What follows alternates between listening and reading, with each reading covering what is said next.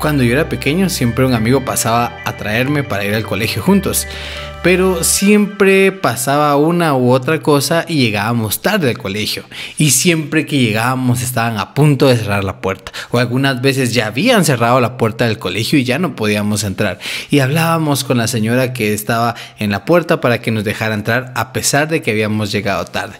Y así pasó muchas veces que la señora ya sabía que nosotros siempre llegábamos tarde y ya nos esperaba en la puerta.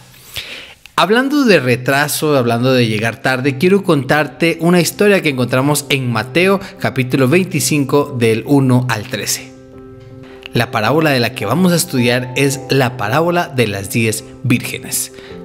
Como vemos en la parábola, la costumbre judía era que la boda llevaba muchos días de preparación y uno de los acontecimientos más grandes era cuando el novio iba a traer a la novia a la casa de sus padres. Había muchas cosas que podían retrasar la llegada a la casa de la novia. Lo interesante de hablar de la parábola de las diez vírgenes es de que antes de esta parábola encontramos otra parábola que también habla de atrasarse, de llegar tarde. Y después de la parábola de las diez vírgenes, una de las parábolas que ya estudiamos, que fue la de los talentos, también se trata de una espera que aún no se sabe exactamente la fecha, si va a venir antes o va a venir después. Y lo más interesante es de que un capítulo antes encontramos a los discípulos preguntándole a Jesús señales sobre el fin o señales de la segunda venida de él.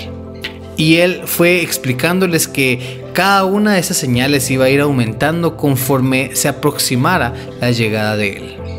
Jesús ilustra esta parábola de la siguiente forma. Habían 10 vírgenes esperando la llegada del novio a la casa de la novia.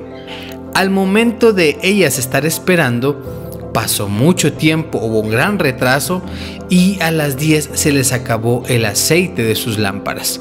Cinco de ellas tenían aceite extra y las otras cinco no tenían aceite extra. Las vírgenes insensatas le estaban pidiendo que le regalaran un poco del aceite que tenían las vírgenes sabias, que ellas habían llevado un poco más. Ellas se negaron porque si les prestaban, ellas también se iban a quedar sin aceite. Así que ellas fueron corriendo al pueblo a buscar aceite extra y cuando encontraron regresaron al lugar y ya había llegado el novio, ya habían entrado a la fiesta. Y cuando ellas fueron a tocar a la fiesta, no les quisieron dejar entrar porque habían llegado tarde.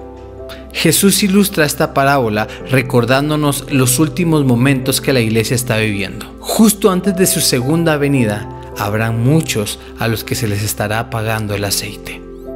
Es muy interesante cuando analizamos la historia y vemos que los dos grupos, las cinco sabias y las cinco insensatas, ambas están con el mismo propósito, tienen las mismas características, sin embargo, hasta el momento de que el novio se retrasa, allí se divide quién es quién. Esta no es la única vez que Dios nos habla en su palabra que nos dormimos muchas veces. En el monte de la transfiguración, Pedro estaba con sus compañeros y ellos se habían quedado dormidos. Y más tarde los discípulos Pedro, Santiago y Juan nuevamente se quedaron dormidos cuando estaba Jesús orando en el jardín de Getsemaní. Jonás también se había quedado dormido mientras se alejaba de aquel lugar al que Dios lo había mandado a predicar. Pablo en Romanos 13 advirtió en todo momento, tengan en cuenta el tiempo en el que vivimos y sepan que ya es hora de despertarnos. El mensaje clave de la parábola es que necesitamos aceite extra. Recordemos que el aceite es símbolo del Espíritu Santo. En todos los momentos que leemos en la palabra de Dios que se usaba el aceite era para ungir a aquellos reyes, a aquellos sacerdotes, incluso a Jesús cuando empezó su ministerio.